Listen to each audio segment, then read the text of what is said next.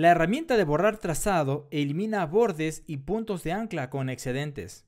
Existen varias formas para cortar trazados en Illustrator y una de ellas es esta herramienta que está aquí que es la herramienta de borrar trazado.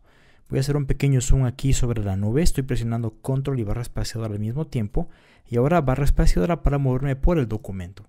¿Qué es lo que vas a hacer? Simplemente vas a borrar, pero si te das cuenta no borra. ¿Por qué no borra? Porque debo seleccionar el objeto. Con control clic has seleccionado el objeto y ahora tranquilamente puedes borrar sobre el trazado que está ahí sin ningún problema. Si gustas puedes hacer esto. Mira, siempre trata de ir sobre el trazado que es algo interesante. Me voy a dirigir a la siguiente mesa de trabajo.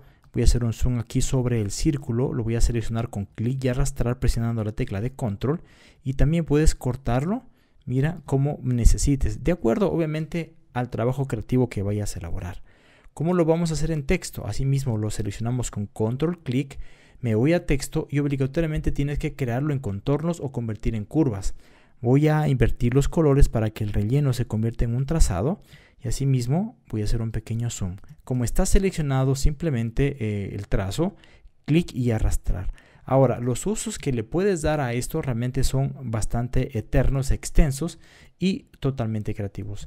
Aquí terminamos nuestra lección. Muchísimas gracias por estar siguiéndonos en este curso. Te recomiendo que te suscribas a nuestro canal, actives la campanita y nos vemos en la siguiente lección.